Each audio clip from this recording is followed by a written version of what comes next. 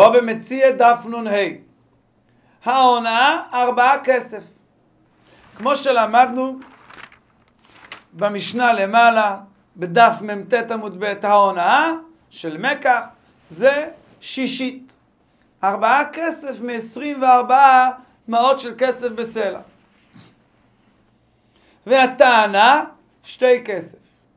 מה זה נקרא טענה? יש לנו מושג שנקרא מודה במקצת.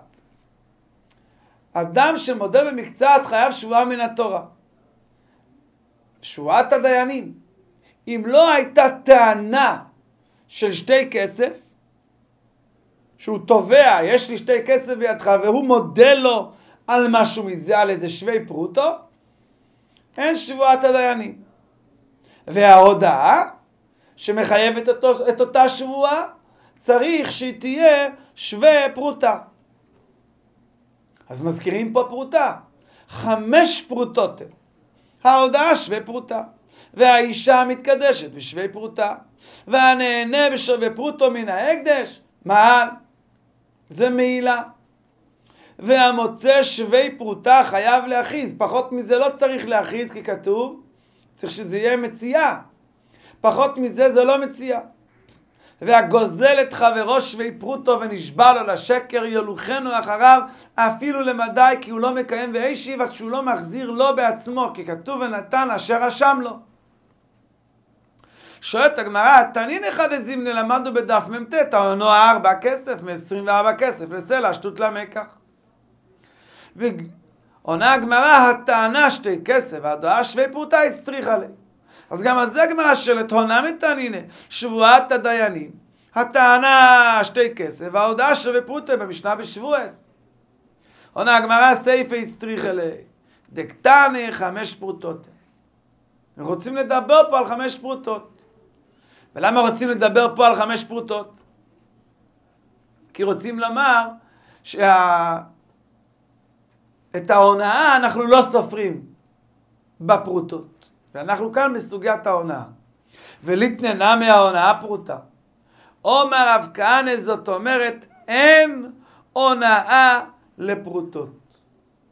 רש"י אומר אין הונאה בפחות ממטבע של איסר. אי אפשר לטעון הונאה במטבע פרוטה.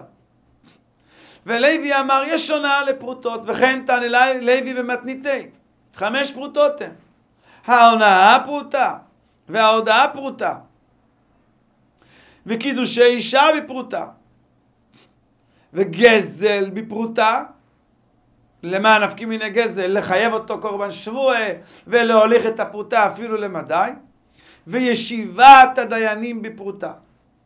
אז לוי בחמישה דברים שלו סופר שתי דברים שאנחנו לא סופרנו. לא כתבנו במשנה שלנו לא הונאה פרוטה, כי המשנה שלנו סוברת שאין הונאה בפרוטה, ואנחנו לא ספרנו ישיבת הדיינים.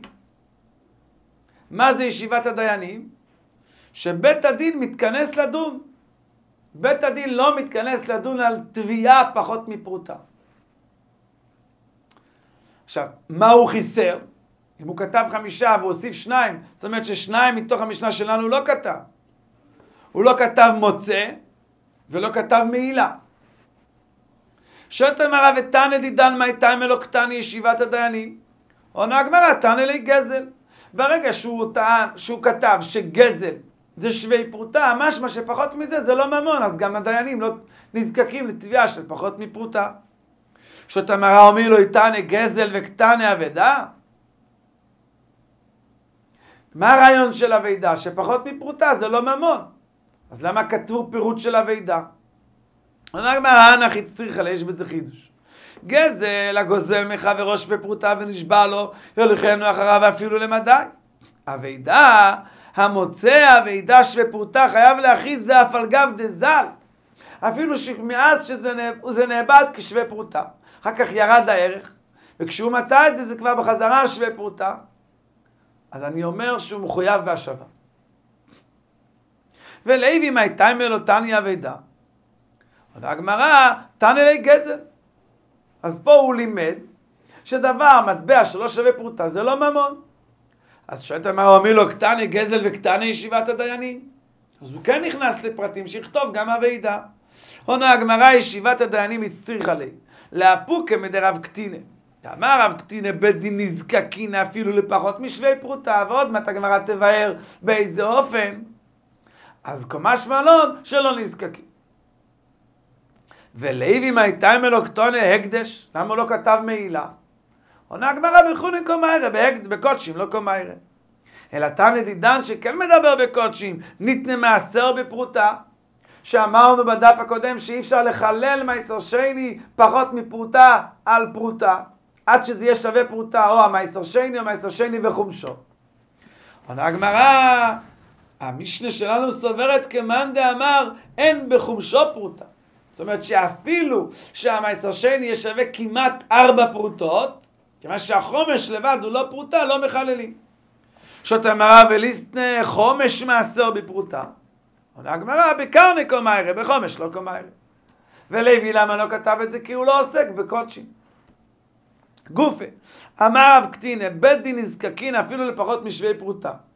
מוסיף רובה, איך כתוב בפסוק? ואת אשר חטא מן הקודש ישלם. מה זה הואת?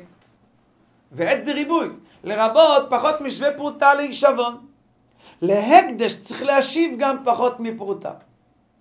נו, לקודש אין, אבל להדיוט לא. איך אתה משה בית דין נזקקין לפחות משווה פרוטה? אלא כך אמר רב קטינא. אלא איתמר אחי איתמר. אמר רב קטינא, אם הוזקקו בית דין שווה פרוטה, ראובן תבע את שמעון בפרוטה, וכבר יושבים בדין. וראובן אומר, חוץ מזה יש לי עליו עוד תביעה של פחות משווה פרוטה. גומרין אפילו לפחות משווה פרוטה. תחילת הדין באינן פרוטו, גמר דין לא באינן פרוטו. וזה לוי בא לאפוקה, שצריך שזה יהיה פרוטו כל הזמן. אומרת המשנה חמישה חומשינה, חמש סוגי חומש. אילו הם? האוכל תרומה, הוא תרומת מעשר, זה תרומה שהלוי נותן עשירית, מייסר מן המייסר. הוא תרומת מעשר של דמאי, והחלה והביקורים. כל חמשת הדברים האלה הם נקראים תרומו, זה שם אחד. מי שאוכל אותם בשוגג משלם גם חומש, זה אחד. שתיים, והפודה נטע רוויו מייסר שני שלו, שזה שייך לו, מוסיף חומש. שניהם זה גם כן נחשב דבר אחד. שם תרומו אחד, שם מייסר שני אחד. שלוש, הפודה הקדשו, שהוא הקדיש, מוסיף חומש. ארבע, הנענש ופרוטו מן ההקדש, מוסיף חומש. חמש, והגוזל את חברו שווה פרוטו ונשבע לו, מוסיף חומש. עומר עובד, קשה לי לרב לוזו. תרומת מעשר של דמאי, כך כתוב פה, מוסיף חומש. מה זה תרומת מעשר של דמאי? מדאורייתא זה בכלל פטור ממעשר וגם מתרומת מעשר. זה תרומו דרבונו. וכי עשו חכמים חיזוק לדבריהם כשל תורה, שצריך להוסיף חומש? אמר רב נחמן אמר שמואל, הומנה רב מאירי. דאמר עשו חכמים חיזוק לדבריהם כשל תורה, אפילו שאין פה עניין לקנוס מישהו. אלא פשוט לעשות את זה ממש כמו של טוירו. נתניה. המביא גט ממדינת הים. נתנו לה. השליח נתן גט לאישה. הוא נשלח על ידי בעלה מחוץ לארץ. ולא אמר לה בפניי נכתב ובפניי נכתב. בגמרא בגיטין מבואר שהחכמים תיקנו שהשליח יאמר בפניי נכתב בפניי נחתם או כדי לברר שהגט נכתב לשמו או כדי שהוא יקיים לנו את החתימות של הגט. אם הוא לא עשה את תקנת חכמים, אז בעצם מדרבנן היא לא גרושה, אבל מדורייתא היא כן גרושה. יוציא והבלד ממזר דברי רב מאיר. חכמים אומרים אין הבלד ממזר. כיצד יעשה יתלנו ממנה ויחזור ויתננו לה בפני שניים ויאמר לה בפניי נכתב בפניי נכתב. ולרב מאיר משום דלא אמר בפניי נכתב בפניי נכתב יציב הבלד ממזר והסברנו אין רב מאיר לטעמי דאמר רב אמנון משמי דאולה. אומר היה רב מאיר כל המשנה ממטבע שטבעו חכמים בגיטין יוציא והבלת ממזר. רואים שרב מאיר סובר שחכמים עשו חיזוק לדבריהם כשל תורה. מוסיף רב שיישס. רב שיישס רוצה להוכיח שרב מאיר לא משווה לגמרי דין דרבנון לדין דאורייתא. כתוב ככה במשנה בדמן. מחללין אותו, אדם שיש לו כסף, יש לו פירות מייסר שני של דמי, זה רק דרבונו. מחללין אותו כסף על כסף, נחושת על נחושת. ולא רק זה, גם כסף על נחושת, ונחושת על הפירות. יכול לחלל נחוש, נחושת של מייסר שני על פירות. במייסר שני ודאי לא אומרים דבר כזה, כפי שנראה בהמשך. אחרי שהוא חילל על הפירות ויחזור ויבדה את הפירות ויעלה את הכסף לירושלים, דברי רב מאיר. החכמים אומרים, לא צריך לבדות, יעלו פירות עצמם ויאכלו בירושלים. כך כתוב בהלכות מייסר שני של דמי. ומי מחללינן כסף של מייסר שני ודאי על נחושת? ואותנן במשנה במייסר שני, סלע של מייסר שני ושל חולין שנתערבו. להתערב סלע של חולין וסלע של מייסר שני. לא יודעים לזהות. מביא בסלע מעות, מביא מעות של נחושת, בשווי סלע, ואומר, כל מקום שישנה סלע של מייסר שני מחוללת על מעות הנחושת הללו. אחרי שהוא חילל את זה על הנחושת, עכשיו הוא בורר את היפה שבהן, הוא לוקח סלע מבין שתי הסלעים, לוקח את הכי יפה, ומחללו את כל המעות נחושת עליה. בשביל מה עושים את זה? בשביל מה לחזור ולחלל? מפני שאמרו, מחללים אותו כסף על נחושת מדוחק. לכתחילה לא מחללים כסף על נחושת, רק כשדוחק, שיתערב פה כסף על כסף. ואחרי שחיללת מדוחק, לא שיקיים כן, אל תשאיר את זה במטבעות נחושת, זה זלזול במייסר שני, אלא שחוזר ומחללן על הכסף. קטנים יס, מה כתוב כאן? מחללים מדוחק, מדוחקין שלא, מדוחק לא.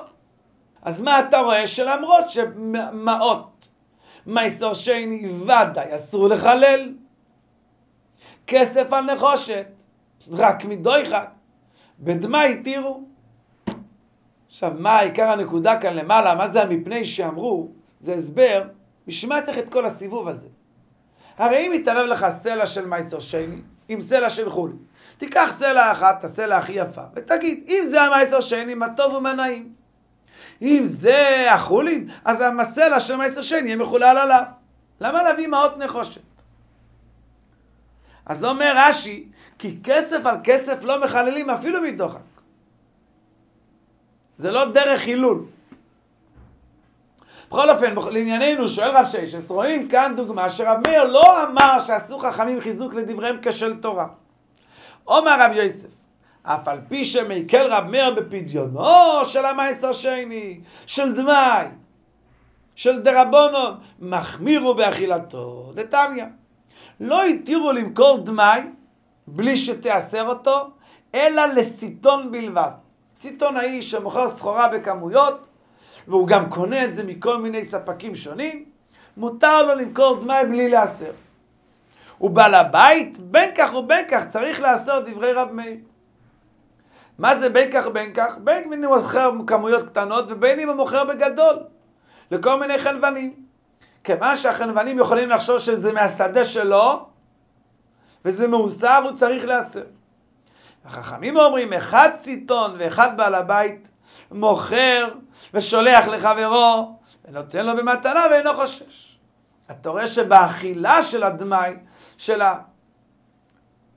מייס הלכויס מייסר דרבונון, רב מאיר מחמיר בדיוק כמו, כמו הדאורייתא. עד כאן דף נ"ה.